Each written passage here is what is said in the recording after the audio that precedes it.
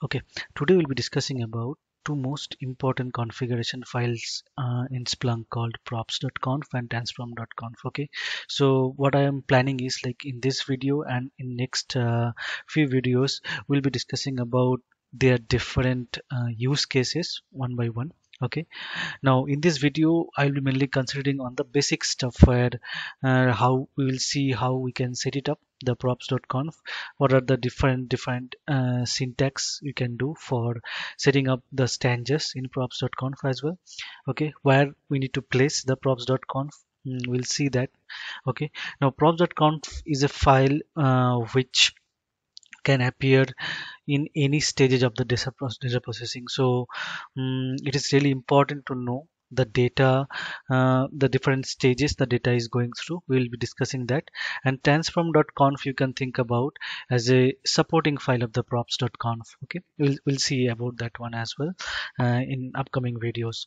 Now as, as I said, props.conf is a configuration file where in which you can configure the the different configuration that can that can be present in any of the data processing stage.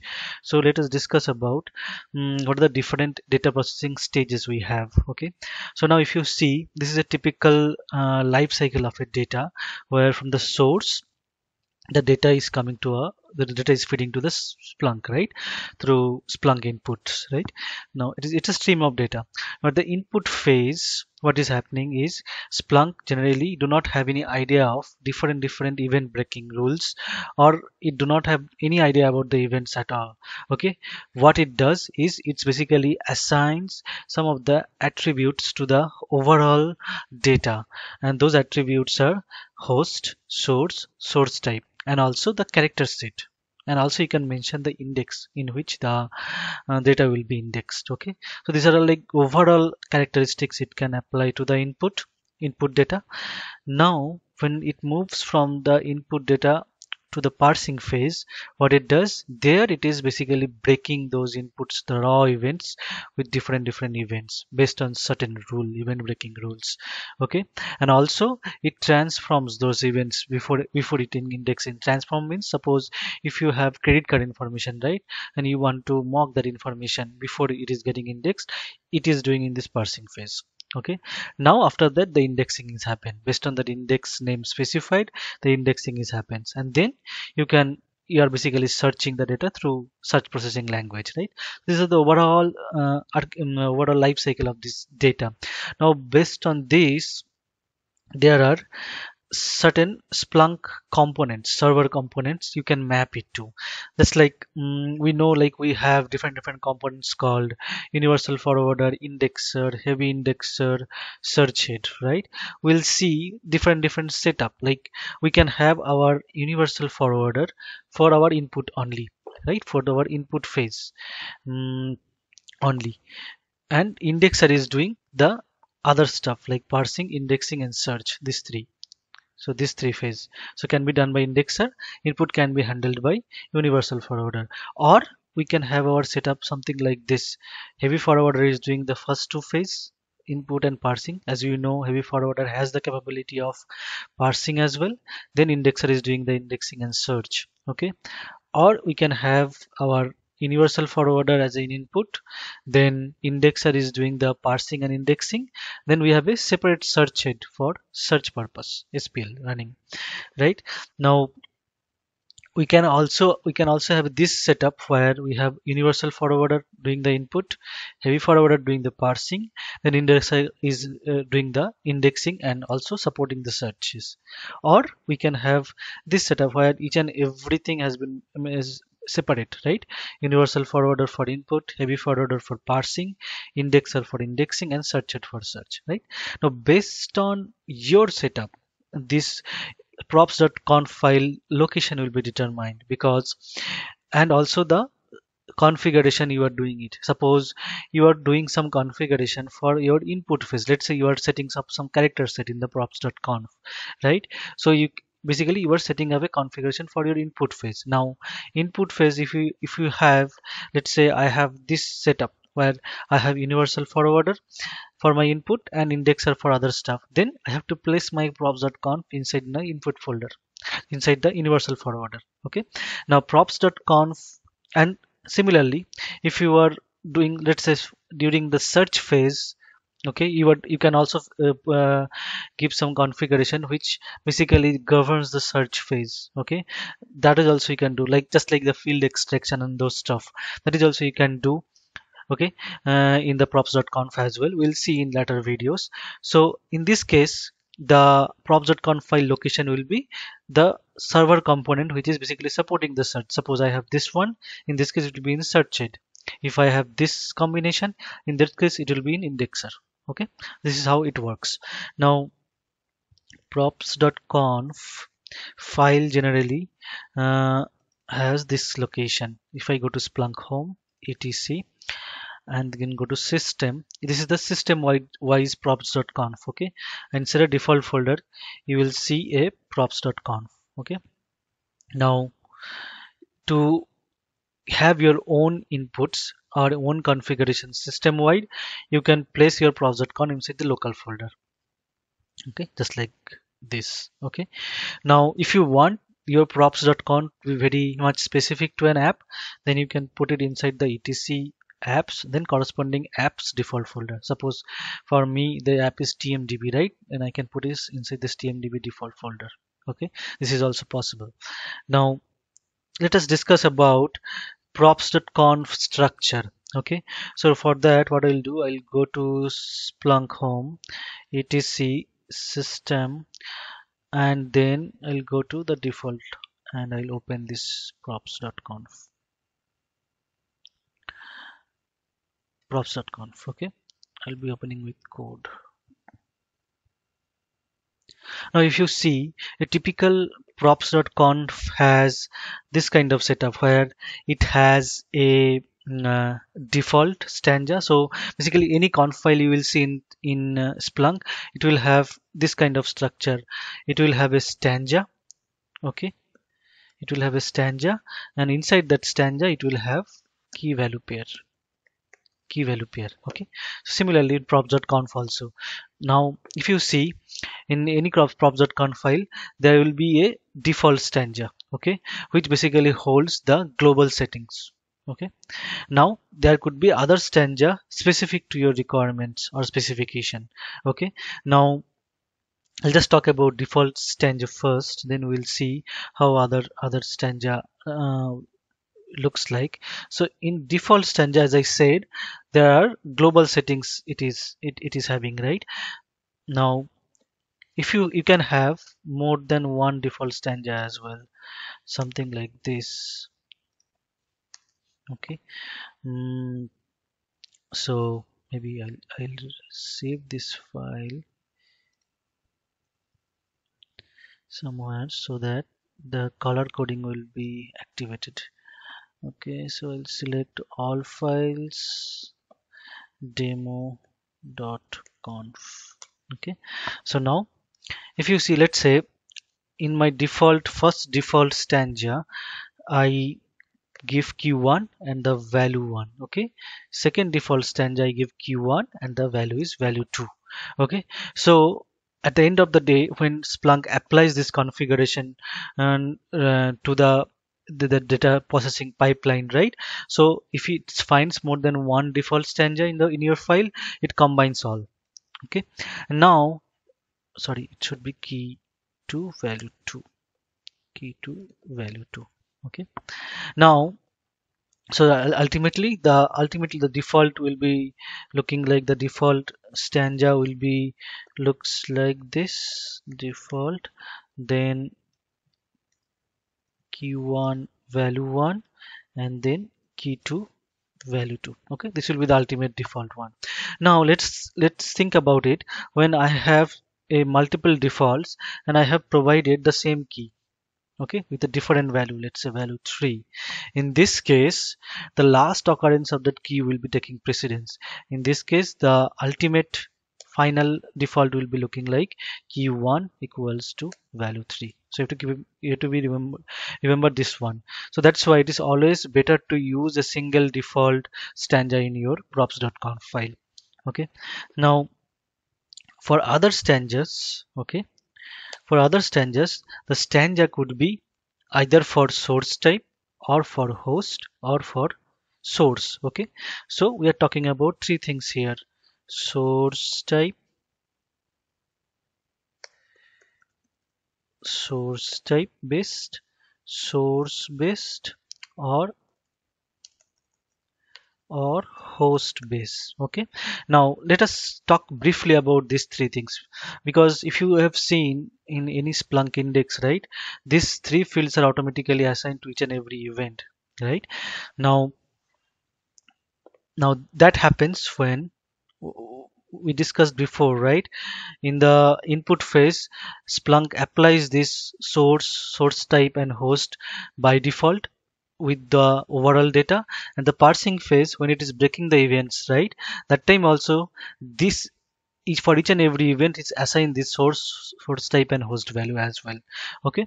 Now source means that the mm, so the host means basically the server from which the log files are coming up source you can think of it the file name. Suppose you are you are uh, monitoring some log files right?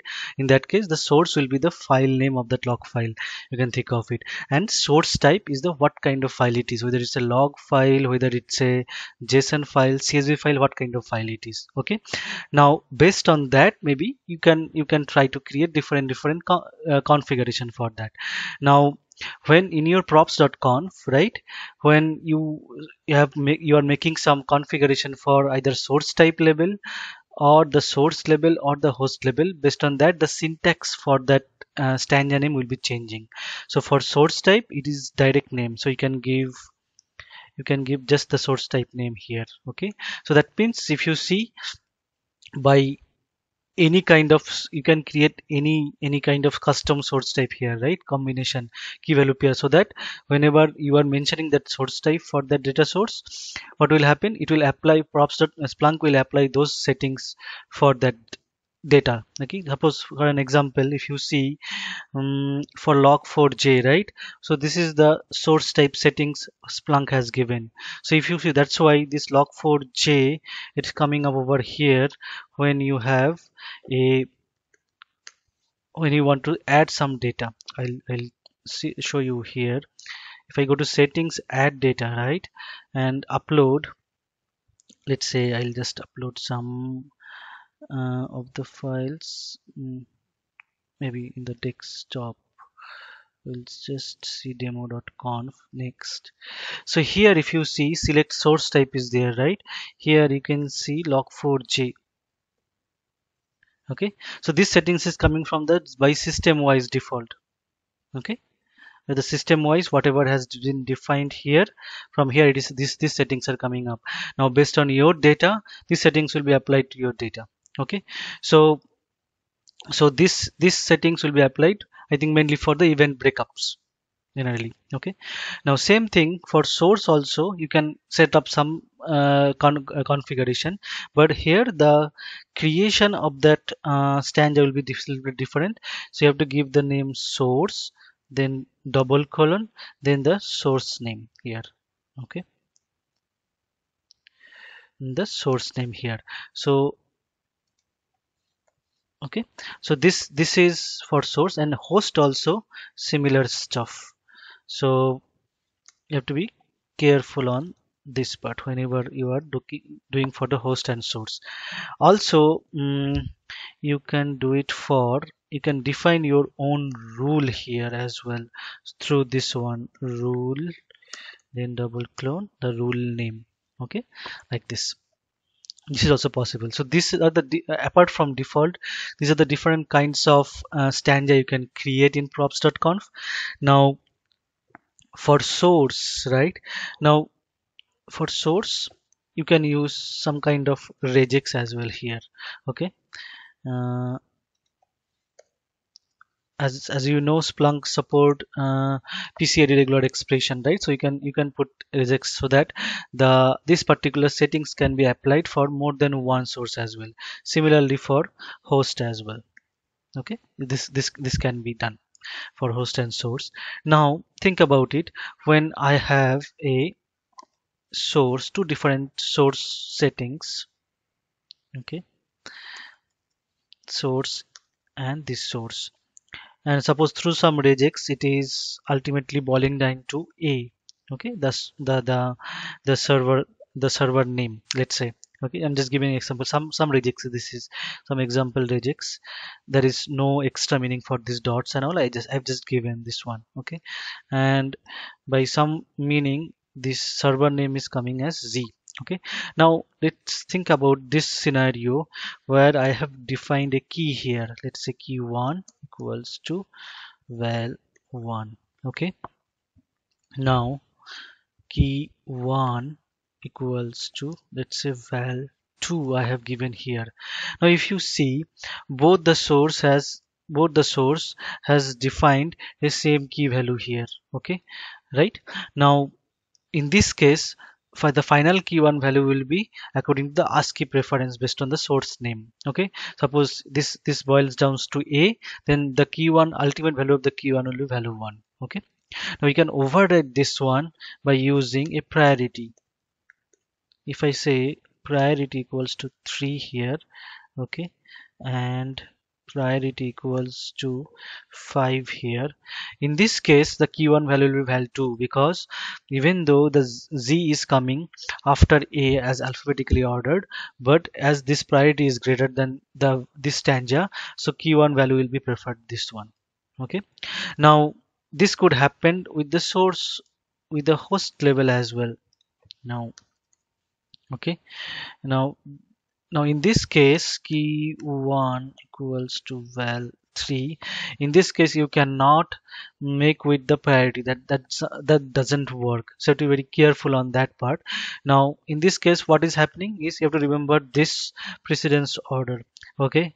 So host always precedes the source type.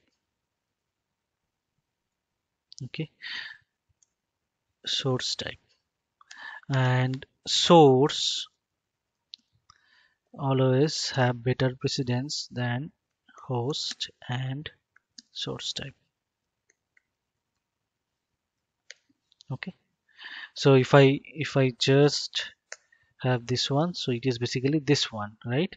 So source will be having the highest pri highest priority then host then source type. That means if you have this kind of combination then this value will be the value of the key one will be either value 1 and value 2 because both are belongs to source.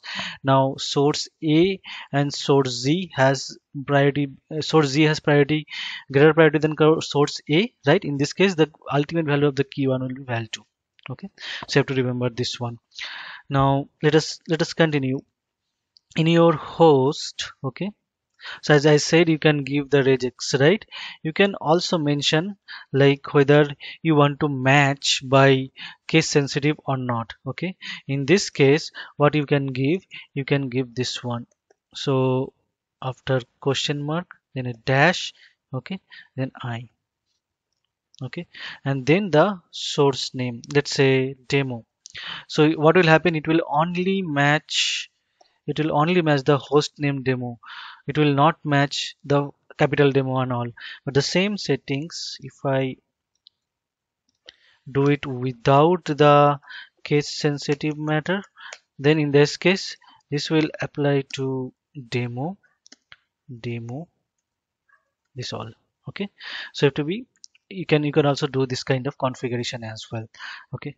Mm, yeah so we, we, we talked about like uh, how to create different different stanzas right? And how how we Splunk will be determining the final value based on the priority and other stuff. Okay we also see uh, the uh, how we can do the case sensitive and case insensitive search as well okay? So this is these are all this is the like overall basic levels of um, things you can do in props.conf so we, we just only talk about the functional aspect of props.conf right? In the next video uh, what we'll try to see is now different different use cases for props.conf so we'll see how based on how uh, different different phases of the data processing how different different configurations works. Just like suppose you want to do the create a rule for event breaking right? So in that case you have to do it for the parsing phase. We'll see how to do that one as well okay? For now see you in next video